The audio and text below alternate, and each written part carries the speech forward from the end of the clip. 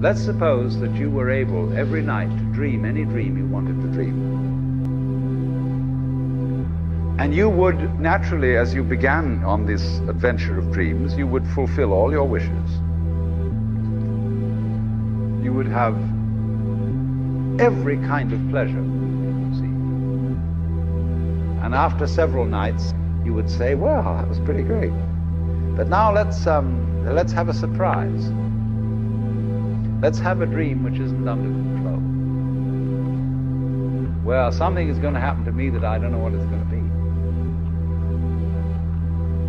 Then you would get more and more adventurous, and you would make further and further out gambles as to what you would dream. And finally, you would dream where you are now.